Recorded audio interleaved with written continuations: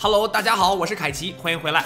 那么我们在这一期视频当中呢，将会继续冲冲冲战术冲冲冲啊。那么首先我们先来看一张照片啊，然后猜猜这个人是谁。你可以把答案打到屏幕下方的聊天板上啊。如果你知道这是谁的话，如果你更进一步是个资深棋迷的话，你可以猜一猜这张照片是哪一年拍摄的。好，那现在让我们继续战术冲冲冲，和凯奇一起做战术。那么上一次我们是到了一千四百五十三分啊，那么现在继续，对方刚刚走了车到 e 一，想要干啥？我有点看不懂他的招法啊。我们可以直接马 g 四，把他的后干掉，但是他也吃我们的这个后，但是我们又可以马 e 五，对方车 e 五之后，然后车 d 八，我们就多子了。所以答案是什么呢？那先吃了再说。然后如果你直接吃 d 八的话，对方就会走象 g 四，所以先把 e 五吃掉。然后再吃啊，多子胜。所以这个这个 chess.com 的上的题啊，不一定非得是杀王，所以有各种各样的不同的，有有可能有进攻，甚至有时候有防守。你看现在就是一个防守，呃，但是也不算防守了，对方将我们。哦，但这个棋有点搞笑哎，我们垫将的同时闪将，把对方也将死，然后车吃 d 四啊，对方的王被将死了，g 四还能再走一步，但是车 g 四直接杀王。好，来看下一个。对方马到 f 六，这个又是两步杀呀。后 f 五，哎，你可能会觉得马是不是可以吃后？就是让他吃，e f 直接杀王。下一个车吃，哎，我们肯定要第一感觉吃回去，对不对？但是，但是啊，看看对方如果吃你子，你看看能不能够，对方打你的时候，看看能不能打对方更重要的棋子啊。那我们看看他的王，哎，典型的这个底线闷杀，所以底线吃掉，结束。下一个。一千五百分啊，呃，象到 b 四，然后在这个局面怎么走呢？我们可以吃掉对方的后先，然后再吃掉对方的马，可以多子胜啊，然后再马吃。下一个长一位，看上去他王挺安全的呀，但是，哎，是不是可以马马 b 五 a b 后到 a 八，人家马 b 八垫住了啊，不好不好不好不好，那走什么呢？我们的子力位置很好哎，对吧？马 b 五不行，我再看象 a 六，象 a 六，b a 后 a 六后 b 七，好像也没棋哦。哎呦呵，居然被他难难难到了。好好，我们看一下啊。哇，已经用了三十秒了啊，这道题还可以啊，有点厉害。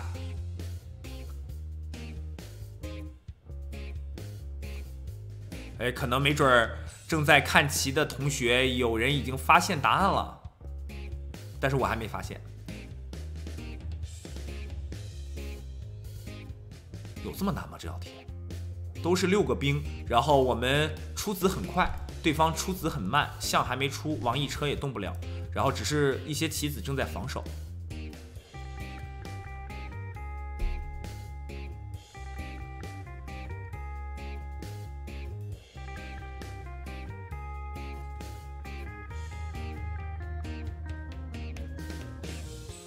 我怎么做不出来了呢！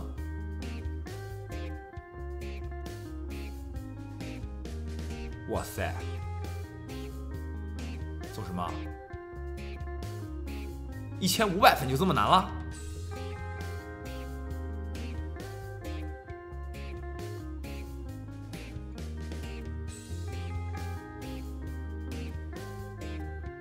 嗯，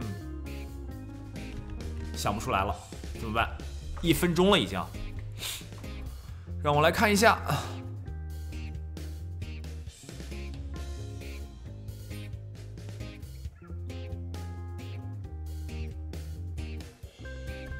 我看到像 A 六，B A 后 A 六后 B 七，或者是马 B 五，A B 后 A 八也没棋啊。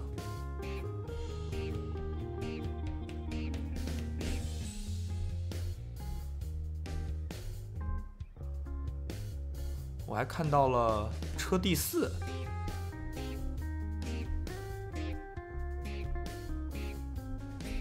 我可能会走车第四吧，然后准备车 C 四，因为我也看不到除了这步之外其他的好棋。我错了，不对，不对，车第四不是最好的，看一下有没有其他招法，长一位之后有没有什么其他的棋啊？车 D 四，车 C 四不是最好的。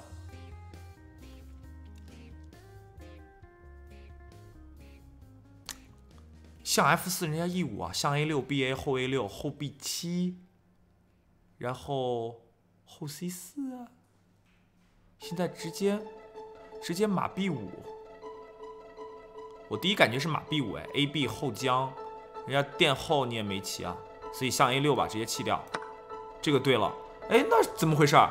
象 A 六他就算我对了，这道题这也不是战术哦，对方对方比如说 B A 会怎么样？我们可以一起分析一下啊，这道题，一起分析一下，象吃 A 六，然后对方 B A 吃掉，然后走什么？后吃 A 六，这不是战术啊。后 B 七，后 C 四，确实白棋攻势很强大啊，但是没有直接赢的这个局面。王到 B 八就象到 F 四，这个肯定。如果对方后 C 七，然后后 A 四啊，那这个局不是一个战术的局面啊，而是一个这个弃子然后进攻对方的一个局面。那么白棋的子力位置非常好，然后可以对对方进行进攻。好，那么我们继续来看下一道题。H 三，哦，这个棋又简单了，后吃 G 三嘛，没有其他招法。王到 D 二，然后再 G 四。对啊，所以你看，它都是这种非常简单的这个这个题里面，突然给我来一道这个啊，那刚才一个局面性弃子啊，还是有一些难度。王 H 一，你看这个又是一个比较简单的啊，车到 D 四抓后，然后车到 H 四，多后了。下一个后到 A 七，那我们当然后吃 H 三更好。下步车 G 三，后将王 G 七，车 G 四把后吊死了，然后多后。下一个。后到 F 五，那又简单了，象吃 F 七，车吃 F 七，车到 E 八，加快速度。下一个，然后象到 C 四，直接直接就赢棋了，那就吃掉，有后，然后后 D 八，H 八车也是我们的，因为我们的王在黑格，对方没有闪将，多子。然后我们来看下一个，易位，马 H 五后死了，马 H 五后到 H 四。然后象 F 六，象 G 五，象 D 四，把这个吃掉了。下一个，车到 G 三，那我们车到 C 八，下步车 C 一挡不住了。我们的王虽然没移位啊，但是他进攻不了我们啊。那在这儿还是走车 C 一啊，因为我们吃后是带将的。啊，吃掉，然后再把这个吃掉。下一个，啊，又是底线杀王，这个底线的棋还是太简单了点。下一个。王走到这儿，那我们 C 五下步车到 A 四挡不住了。他 B 五的话，我们可以吃过路兵，然后车 A 四。下一个马 G 七车 E 四车 E 车 E 一了，象 C 四啊吃掉，再将马到 D 二，那象 D 四这岂不是白给？这应该是法兰西下城的一个局面。那我们的后肯定是不会离开我们的象的，然后后到 C 五，后走这儿。要吃 G 七，而且要吃 D 四。那先看一下象 E 三后 G 七，或者是没有其他招法，肯定要吃的。哎，后 G 七，它可以再往下走一走，它可以在后 G 七走一走，然后象 D 二后 H 八，我可能会走王 F 八，人家车 G 三嘞。这个局面他后 G 七为什么不往下下呢？哦，OK，象 D 二后 H 八的话，我可以长一位啊，没关系。好，下一个。